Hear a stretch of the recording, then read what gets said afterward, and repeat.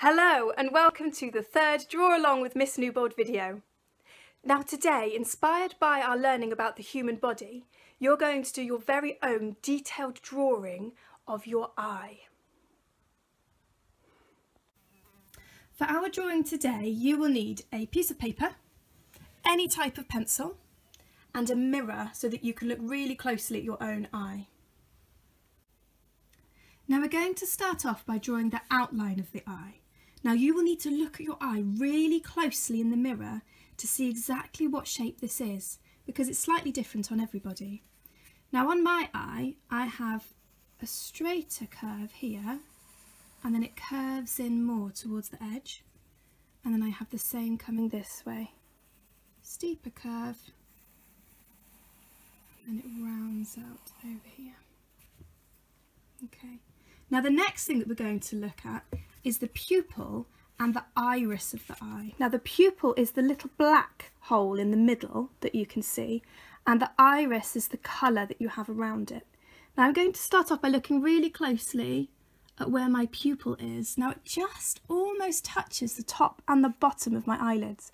So I'm going to see if I can fill it quite big so it almost touches. And then the iris of my eye goes behind the eyelids like this.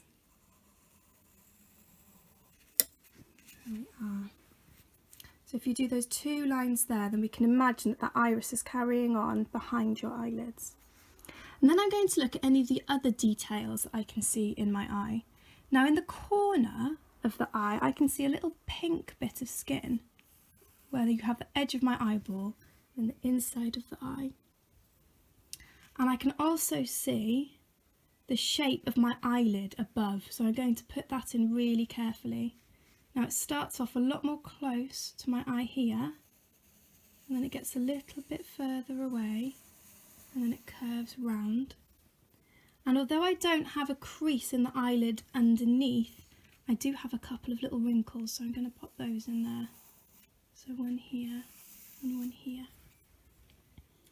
Right, now we're going to zoom in and look really, really closely at the shape of your eyelashes. Now I can see a few small little eyelashes all the way along the bottom eyelid. So I'm going to do lots of eyelashes coming out from there.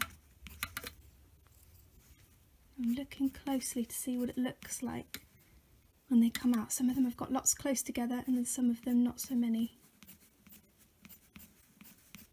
They're not all perfectly straight and they don't all go in exactly the same direction.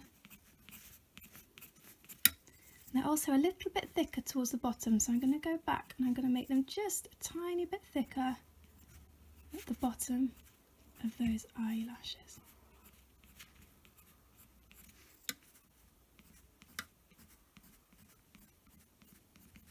There we go. Starting to look like it.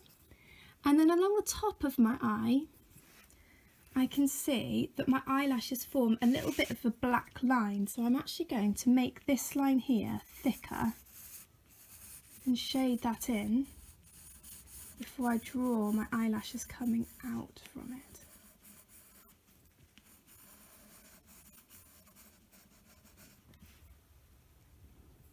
And then I can see that some of my eyelashes are coming up like this, a little bit thicker towards the bottom so I'm filling that in.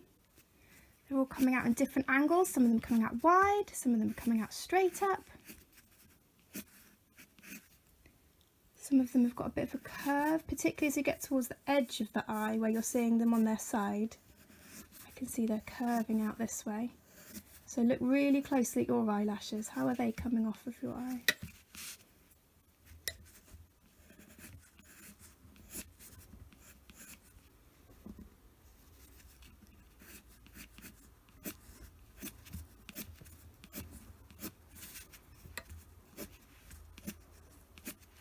really fill that in, see how many you can spot.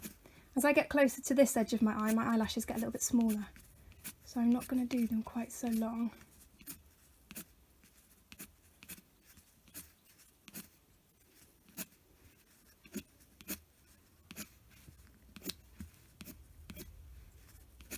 Okay, there we go.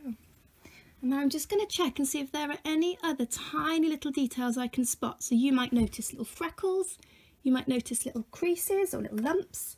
Now I can see a few little marks here, so I'm going to pop in one of those there. And I can see a few little creases here that I'm going to pop in. Now what I want you to do is look really closely at the way the light is reflecting on your eyeball because it might not be that your pupil looks completely black and your irises all look the same. On mine I can see that there's a little spot of bright light coming in here and I can see there's a little patch of light here that's a little bit lighter than the rest of my eye. Okay.